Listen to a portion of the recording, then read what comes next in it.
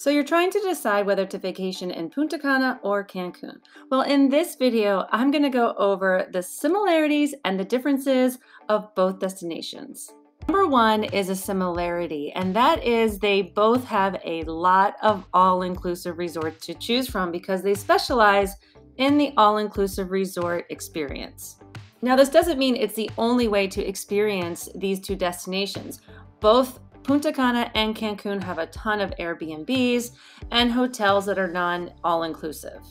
I personally have only done an all inclusive resort experience in Cancun and Punta Cana, so I can't really speak about the other experience. I just prefer that freedom of mind when you're on vacation. I love the all inclusive experience. So, in my opinion, it is a great way to experience both destinations. And there's a ton of resorts to choose from. Leads me to the second similarity, again, about the all inclusive resorts, and that is you really need to do your research before booking. So, Punta Cana and Cancun both have a ton of different all inclusive resorts and it can really range not only in price but also quality. The cost of the all-inclusive resort experience is also very similar between Punta Cana and Cancun. And after staying at over 20 all-inclusive resorts in both destinations, I have found that it is also true in both places that the more you spend per night, the better quality experience that you're going to have. Now I know that sounds obvious, but it's very easy to get drawn into those really low prices per night because it's all inclusive. You're trying to save some money and you're thinking, like, how bad could it be? And trust me, I know because I've stayed at them, and let me tell you, it can be pretty bad. So make sure you do your research and pay just a little bit more per night to get a better experience. Number three is another similarity and also kind of a difference, and it's pretty obvious that the native language in both countries is Spanish. However, one difference is in the way that they speak Spanish. So in the Dominican Republic, it's very, very fast, and sometimes they run their words together.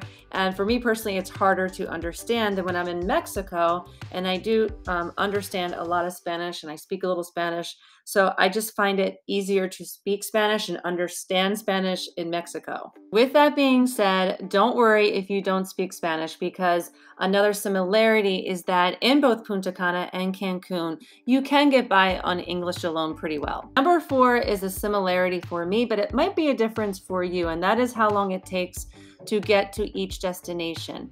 So um, I fly out of the New Jersey area, and both are about a three and a half hour nonstop flight. But one difference with the flights, at least it is for me, is that the cost of the flight is usually higher to go to Punta Cana than it is to Cancun. Number five, let's talk about the airports. Now, I do full videos about both airport experiences, so you can check those out. But just real quick, I would say it is definitely a difference. The Cancun airport is a little bit more updated. It's a lot quicker to get through immigrations and customs than in Punta Cana. So in Cancun, they actually now have the e-gates, which is making it a lot quicker to go through immigrations. Um, and just in general, you can tell that they are really dedicated to getting people in and out of their airport as soon as possible so that people want to come back and have a good experience. Versus when you arrive to Punta Cana, it's definitely slower paced. You feel that island vibe right away. You can see that they're maybe a little bit behind the times with the technology, but it is a lot more fun. There's music playing, and in general, again, it's just a whole different vibe. But what is similar about both airports is that you should definitely arrange transportation from the airport to the resort or wherever you're going ahead of time. Because if not, you will be bombarded by taxi drivers, transportation companies trying to get your business. You can get overcharged, can get scammed really easily. It's happened to us.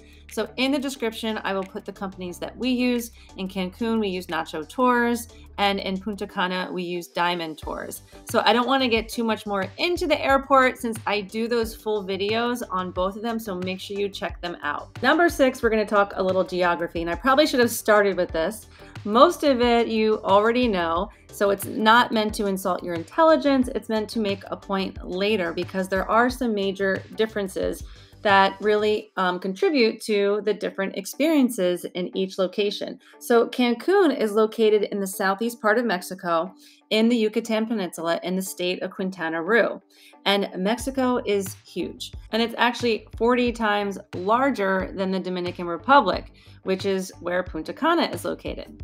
So, the Dominican Republic is a Caribbean island. It shares its island with Haiti. And the reason why this is all important is because there's definitely different vibes, I would say, in Dominican Republic versus Cancun. So, Cancun, being a part of the much larger country of Mexico, has a more fast paced vibe than Punta Cana, which is located on a Caribbean island. So there's definitely that island vibe. Things are slower paced. Now, I'm not saying that you're in New York City when you're in Cancun. I mean, it's definitely a vacation vibe, but that's one noticeable difference that I've seen. And I would say where this difference comes up the most is our number seven, and that is the service. So the service in Mexico in general is quicker than the service in Punta Cana. So in Punta Cana, they are on island time. Like I said, they're on a Caribbean island. So it takes a little bit longer sometimes to get drinks and get food. I don't think the service is necessarily any better in Cancun, but in terms of the time, you do get a little bit faster service sometimes in Cancun. However, the last time that we went to Punta Cana was just a few months ago. We stayed at the Sanctuary Cap Cana, and that was not the case at this resort. So I think it also just kind of depends on the level resort that you're in, but it's definitely one thing that I've noticed during my years of travel. But hey, we're on vacation, so we need to slow down, relax, unwind, get away from that fast paced world. So, this should definitely not be a factor when you're trying to decide between the two locations. And I don't want to get any hate comments, it was just an observation. Number eight is regarding the food. And a lot of people say that the food is better in Cancun than in Punta Cana. Now, I personally not sure if I agree with this. I have been to Cancun more and I've gone off the resort to some really nice restaurants and have had amazing meals, which I haven't done in Punta Cana yet. So I don't think it's really fair to compare the both. For me, in my experience, it was very similar at the all inclusive resort. They had a lot of similar choices at the buffets for the a la carte restaurants. So I thought it was a similarity. But what about the drink? So, number nine is all about the cocktails. And in my personal experience, I think this is a similarity. In the different all inclusive resorts that I've been to in both destinations, they have a ton of different options. The bartenders know how to make basically anything that you want. And again, it really just depends on the level of the all inclusive resort that you go to. So if you go to a higher end all inclusive resort, they're going to have a better selection of liquors. The major difference between the two destinations is that Mexico is well known for tequila and Dominican Republic is well known for rum. So in Mexico, you usually get a better margarita, and in the Dominican Republic, you're getting better rum drinks. Number 10 is about safety, and people always ask us is it safe to travel to Cancun? or Punta Cana. In my personal experience, I have never had an issue at either destination, and I feel equally safe traveling to Cancun as I do to Punta Cana. I know there's a lot in the media, especially about Cancun, about you know the cartels and even sometimes in the Dominican Republic. And in fact, in both destinations, we've gone downtown to their clubs in Cancun, Playa del Carmen, and downtown Punta Cana, and had an amazing time and always felt very safe. With that being said, you always have to exercise precaution when you travel, and there's always risks. Just like even nowadays, there's risks going anywhere here in the United States. I personally have not felt safer in one destination over the other. And I know there's many people that do feel differently about this. And if this is one of the factors that you're looking into to try to choose a specific destination, honestly, I think it's going to have the same risk factors with either destination that you choose. So, kind of along the same lines of safety, number 11 is all about excursions. And I think this is a similarity between both Punta Cana and Cancun, and that is there is so much to explore off the resort. And I know a lot of people are nervous to do so because of the safety factor, but there's so many safe ways to do it. You can do a group tour, a guided tour, and both destinations have so many beautiful sites that you don't want to miss out on while you're visiting there. Now, we use a company called Viator.com. We're actually partners with them, but we only became partners with them after using their service to book quite a few excursions and just loving the experience. So I will put the link to their website in the description below, but basically they have tons of different options. It's all different tour companies, so you can read the reviews, you can see which tour company it is that is offering it. It's just a great way and a safe way to book excursions. Number 12 is a difference, and this is a newer development, and that is about smoking. So if you are a smoker, this is going to be very relevant for you. So in January 2023, Mexico passed a smoking ban in all public places, including the beach. So it's causing a little chaos with the tourism industry because not all resorts are enforcing it and there's kind of some confusion about what it exactly means. Some people are saying that they were still able to smoke wherever they wanted. Some people were very frustrated because they couldn't smoke at all. So, the suggestion would be just to do your research ahead of time, maybe call the resort in the Cancun um, area if that's where you're looking to go to see what they are doing to enforce these laws. Now, so far as of this video, which is May 2023 in Punta Cana, um, it is still the same laws where you can smoke on beaches, in public places for the most part. Like you can't smoke in the airport or things like that, I don't think. But you can smoke on the beach and at the resorts. And lastly, let's talk about the currency in both locations. So, one similarity is that the local currency in both destinations are called pesos. What's different is the exchange rate. So, one US dollar equals about 18 pesos in Cancun and about 54 pesos in Dominican Republic. And again, the exchange rate always changes, so don't hold me to the exchange rate. You always want to look that up. So even though it's a large difference, you really can't compare it because it's very different in both countries, the pesos and the value. And so not necessarily that you're getting more for your money in the Dominican Republic. It's just a whole different value when it comes to the currency. But the good news is, and this is one similarity, is that the US dollar is widely accepted everywhere in both locations. So you really don't even need to exchange your dollars into pesos or worry about any of that and the dollar is very strong and you can use it to tip and pay for almost everything. Again, my only suggestion is that you do know the exchange rate. So that way, if you do go off the resort or if you do some shopping and they're telling you what something um, costs in pesos, you know what the conversion is because sometimes they will charge you more with US dollars, especially when you're shopping and doing things like that. So just know the exchange rate before you go.